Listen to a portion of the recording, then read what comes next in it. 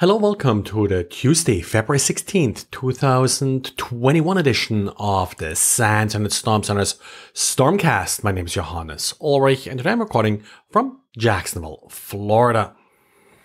Got another guest diary today from Yee Ching Tok, uh, who is writing about uh, shape limiters and buffer bloat. Now, typically when we think about firewalls, we think about them as security devices, but of course, they also play an important role when it comes to network performance. And that is really what uh, the diary is about, how to optimize the performance of uh, your firewall.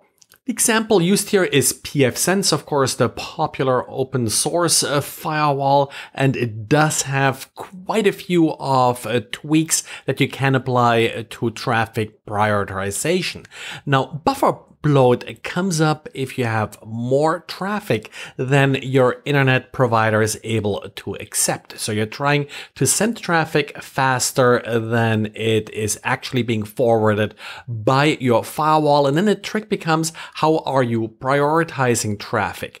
By default, what often happens is that one connection can sort of uh, dominate uh, the bandwidth and other connections are either dropped or become pretty much unusable unusable. With traffic shapers, uh, you're then able uh, to essentially make sure that other connections are getting some time as well, which may lead to a lower peak bandwidth that you have available, but overall to a better user experience by not having other connections uh, time out. And Apple is apparently tweaking uh, some of the privacy issues around access to Google's uh, safe browsing system. Most browsers by default, before you visit a website, uh, will check with Google if this website is malicious. Now, to do so, a hash of uh, the URL, or at least a prefix of the URL, is uh, being sent uh, to Google. And if that hash shows up in Google's uh, database of malicious websites, then you'll see that famous, usually red warning page. But of course, the side effect is that Google will learn what websites, at least malicious websites, you are visiting.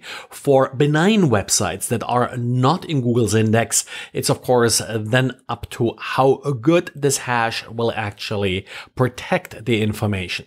What Apple announced it will be doing now in future versions of iOS, at least, uh, is to proxy uh, these requests. So Apple will still know what hashes you sent, uh, but of course, Apple doesn't necessarily have the database of hashes that Google has, and then information is forwarded to Google. The end effect is that Apple doesn't know what websites you looked up.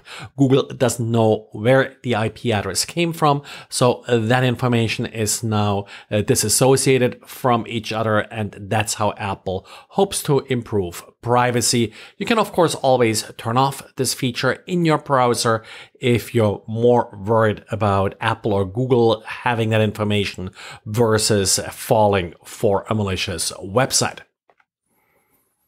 And today, some record low temperatures in the US uh, led to fairly widespread uh, power outages, in particular in Texas, uh, where, of course, uh, low temperatures like this are less common. The result is a number of outages, also of internet service.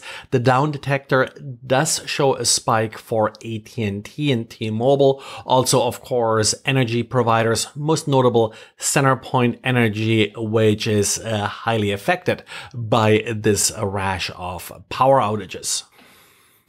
Hiya, a company that makes solution around caller ID and uh, caller identification, has published some interesting and uh, well, uh, surprising to me at least, numbers around scam calls. According to their surveys, 40% of consumers lost some money last year due to scam calls. 7% of uh, consumers lost more than $500. So many of these calls, of course, are these tech support calls and the like. Uh, also, tax uh, calls are quite a common uh, theme here. And apparently, and uh, that's, I think, uh, the surprise here, there's a good number of users that actually fall for these calls.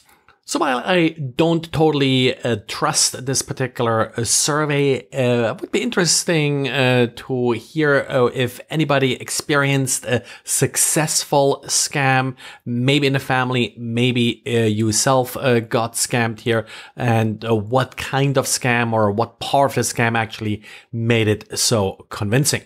Related to this, Sophos also has a story about a fairly well done uh, tax refund scam that apparently is targeting users in the UK and in particular via SMS messages.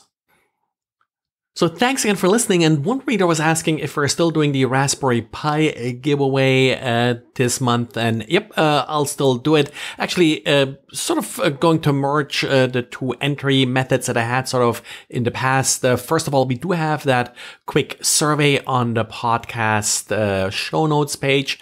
That survey only accepts a certain number of submissions per month. So you have to be a little bit quick to participate there. The second second way how you can enter uh, this raffle for a Raspberry Pi is just if you find any inaccuracy or so that I'm reporting, well, uh, just uh, let me know. Uh, best way usually is via the Internet Storm Center's uh, contact form.